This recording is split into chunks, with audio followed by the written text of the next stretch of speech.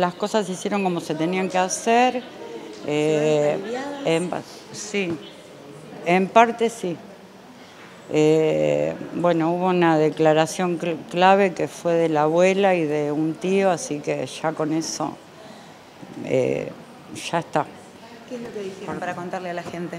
No, que, que sí, que lo reconocía, que era el nieto, que era muy violento. Eh, bueno, todo lo que ya sabemos, porque lo que hizo con mi hija demuestra toda la violencia que tiene.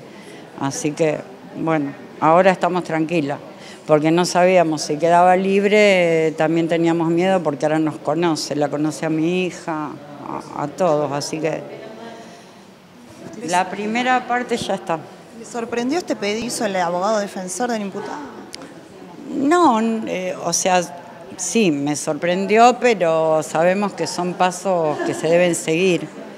Eh, o sea que había que esperar lo que, lo que dictaminara el juez.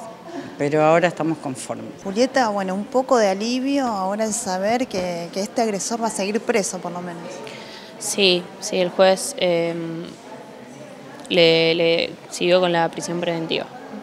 ¿A ustedes le, llamó la atención? ¿Cómo, tomaron esto de que el defensor pida la libertad? Entendemos que el defensor actúa de oficio, que es lo que tiene que hacer.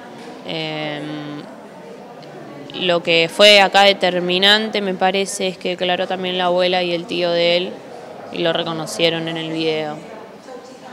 ¿Ellos qué dijeron? ¿Que era una persona agresiva? ¿Qué, qué descripción le dieron de él? Sí, sí, dijeron que era un hombre violento, que le había querido pegar a la abuela en algunas ocasiones, que no tenía casi contacto con él em, y que no vivía con él, como habían dicho en la audiencia anterior. ¿Cómo se vieron estos momentos previos? la verdad, yo, mucha angustia, mucha incertidumbre, la verdad que teníamos miedo de que lo liberen, porque era una posibilidad, pero bueno, ahora tenemos un poco de alivio de que no va a estar en la calle. Tu hermana en sus declaraciones dijo que todo esto le había cambiado para mal la vida. ¿Crees que después de, esto que se conoció pueda por lo menos rehacer un poco su vida, estar un poco más tranquila? Es lo que deseo, pero la verdad que creo que va a llevar mucho tiempo. Mucho tiempo porque esto no termina acá, de acá eh, a dos años es el juicio y es nuevamente rever todo y nuevamente volver al pasado para Jime, entonces la verdad que esto no es una herida que no se va a cerrar nunca, me parece.